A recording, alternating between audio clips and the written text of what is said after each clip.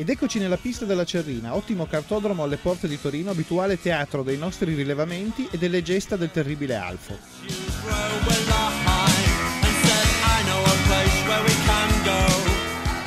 Normalmente la pista è molto penalizzante per i SUV, massa elevata e baricentro alto sono nemici del rendimento sull'asfalto.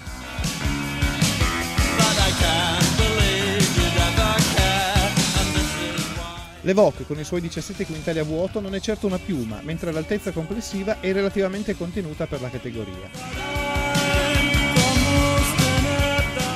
Le sospensioni proporzionalmente rigide e la notevole impronta terra delle coperture permettono alla Baby Range di restare agevolmente in traiettoria, senza eccessivo rollio e con buona aderenza.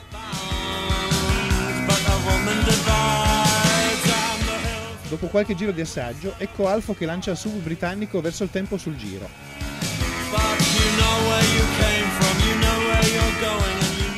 L'Evoque si appoggia in maniera evidente sulle ruote esterne, ma rimane stabile e discretamente precisa. Pare piuttosto veloce, anzi lo è. Il suo tempo è eccellente.